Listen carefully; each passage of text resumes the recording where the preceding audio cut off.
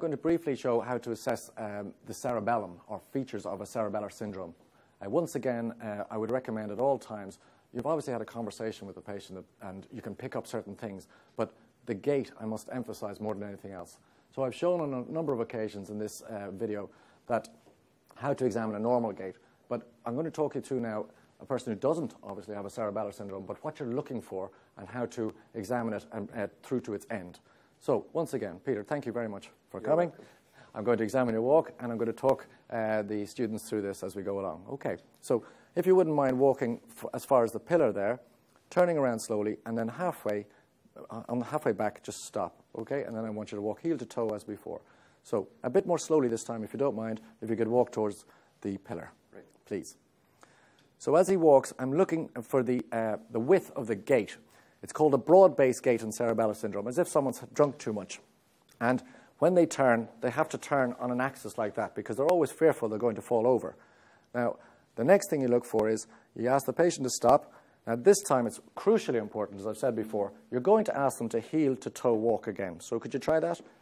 Now, if someone has a bad cerebellar syndrome, or a severe one, I should say, there's no way they'll be able to do this. They'll take one or two steps and they'll be falling all over the place like this. So don't push it, as I keep saying. The next thing you do, as always, is stand on the toes and on the heels. It won't be relevant here, but what will be relevant and is very important is the Romberg sign once more. So can you put your feet tightly close together? At this time, I must remind you again that vision, vestibular system, and posterior columns keep you up in space. When your feet are tightly close together and you ask someone to close their eyes, if the posterior columns or the vestibular system are, are afflicted in any way, the patient or the person will fall over. Note, this is not part of the cerebellar syndrome, an, an urban myth, if you will, or a medical, medically urban myth, that the cerebellum, uh, de- deficits of the cerebellum cause a Romberg's positive syndrome. It does not. Now, it can look like it. You must reassure the patients. I often do this. I often say, I'm here, I'm here. They feel unsteady. You say, I'm here, I'm here, and reassure them, and then just step away for long enough to say, it's actually negative. So you must give the patient confidence when you're doing that. The next thing you do then, thanks, Peter, is, is you ask the patient to relax, be a bit more comfortable. And when you're examining the cerebellum, like most of the neurology system, when you're thinking through it, you start from head to toe. Now, I'm going to ask you to look straight ahead, and you look at my finger here, okay? Now, what I'm looking for here from the side is the patient's looking at me, and I'm looking at the eye movements. Now, at rest, a thing called square wave jerks, tiny little jerkiness of the eyes can occur in the cerebellar syndrome. So I look rather closely, and a lot of students tend to say, there are no square wave jerks, the pupils are equal, etc., and, and they haven't actually looked. So you must take your time, you must breathe easy, particularly in examination situations. So you look very closely.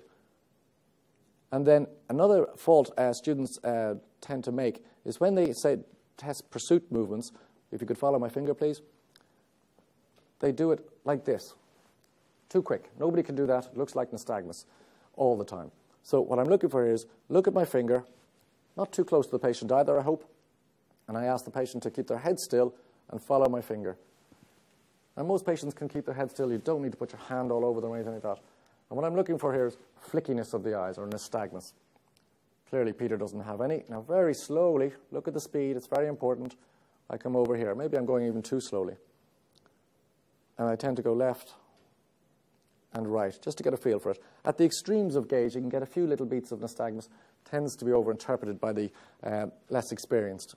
And then if you keep your head still, you go up, head still, and you can have up gaze and down gaze nystagmus. But horizontal nystagmus tends to be more suggestive of a cerebellar problem. The cerebellum uh, also can influence speech, and one gets difficulty with articulation called dysarthria.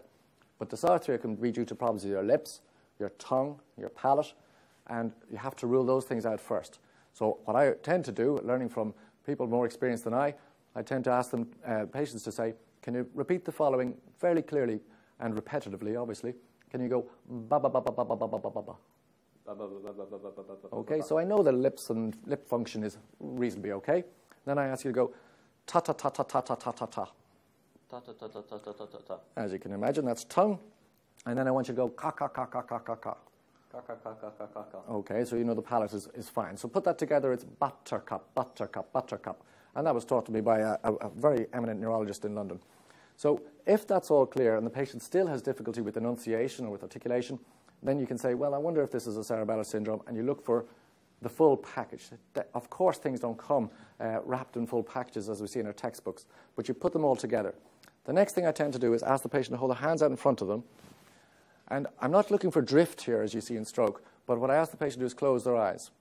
Now, what happens in cerebellar syndrome is the, the, the loss of control or superimposed control on motor and sensory function tends to lead to a kind of a drifting type situation. So there's a rebound is what a rebound is what I'm looking for here. So I'm going to tap one of your hands, Peter. Try and keep it in the same position. I'm not going to tell you which one though. So rather aggressively, you note that his hand goes down and up and back into its original position. In a rebound situation, sometimes the, the patient isn't quite sure where the, where the uh, hand is, so that I tap hard like that and they'll go a few little overswings. Uh, and that can happen in cerebellar syndrome. And then if you open your eyes, I'm now going to move, uh, continue in and ask you to, I'm going to the touch the tip of your finger and ask you to touch the tip of your nose very accurately, okay? Okay. And now touch my finger and your nose and hold it and now my finger, and your nose, and my finger. Now, a lot of people tend then, and then back to your nose. I'm going to try and catch them out, but a lot of people tend to inappropriately move left to right, and the patient's all over the place, and you're all over the place. And it's not a question of uh, catching someone out, it's a question of depth. What you're trying to get is can they judge depth? And so I now ask you to touch my finger and your nose, and I move away and then back.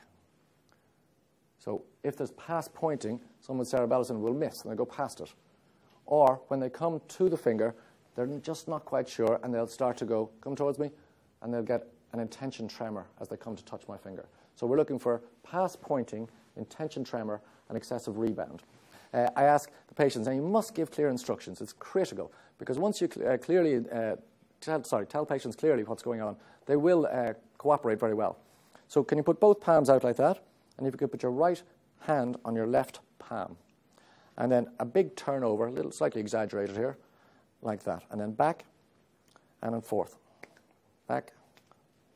Now we get quicker and quicker.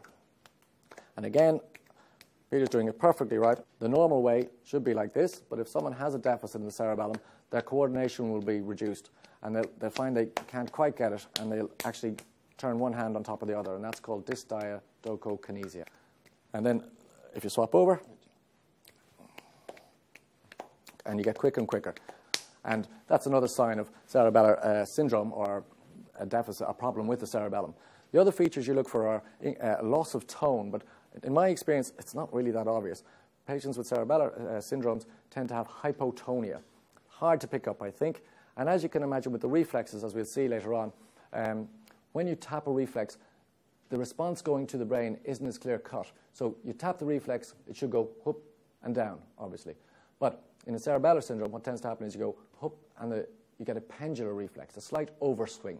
And that's again because the loss of control from the cerebellum is saying, oh, where, where, where's the reflex? Where's the limb in space at this time? And once you finish that, you thank the patient as always Welcome. and ask them to sit down. Right.